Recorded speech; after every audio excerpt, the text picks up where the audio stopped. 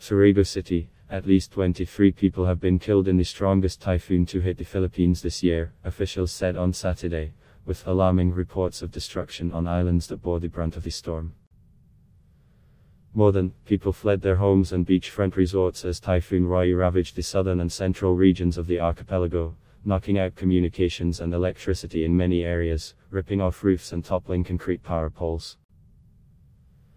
Rai was a super typhoon when it smashed into the popular tourist island of Siargao on Thursday, packing maximum sustained winds of 195 km per hour, 120 miles per hour. Aerial photos shared by the military showed widespread damage in the town of General Luna where many surfers and holidakers had flocked ahead of Christmas, with buildings stripped of roofs and debris littering the ground. The neighboring island of Dinagat had been leveled to the ground by the storm. Governor Arlene Bag-ao wrote on Facebook, saying houses, boats, and fields were destroyed. Walls and roofs were torn and blown off by Odette like paper, Bag-ao said, using the local name for the typhoon. We have a dwindling supply of food and water. Electricity and telecommunications are down. Rai's wind speeds eased to 150 kp as it barreled across the country, dumping torrential rain that flooded villages, uprooting trees and shattering wooden structures. It emerged over the South China Sea on Saturday and was headed towards Vietnam, the state weather forecaster said. This is indeed one of the most powerful storms that has hit the Philippines in the month of December in the last decade, Alberto Bocanegra, head of the International Federation of Red Cross and Red Crescent Societies in the Philippines, told AFP. The information we are receiving and the pictures we are receiving are very alarming. The overall death toll was at least 23, according to official tallies. More than military, police, coast guard and fire personnel will join search and rescue efforts in the worst affected regions, Mark Timbal, spokesman for the National Disaster Agency, told AFP.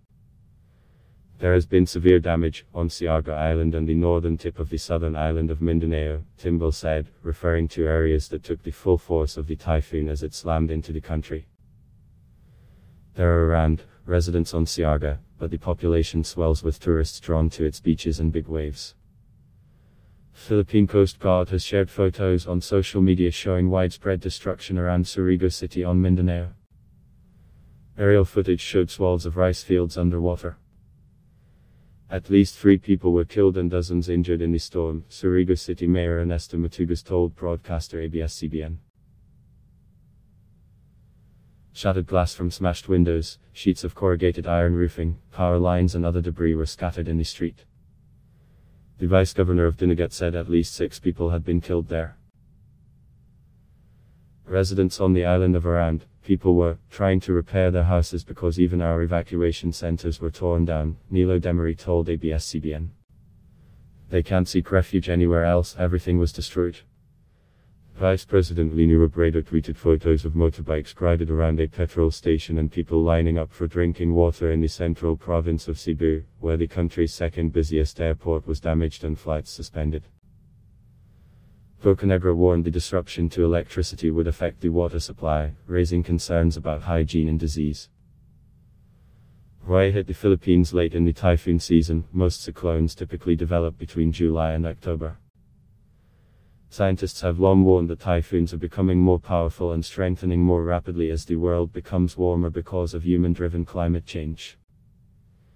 The Philippines, ranked as one of the world's most vulnerable countries to the impacts of climate change, is hit by an average of 20 storms and typhoons every year, which typically wipe out harvests, homes, and infrastructure in already impoverished areas. At Block Test Y.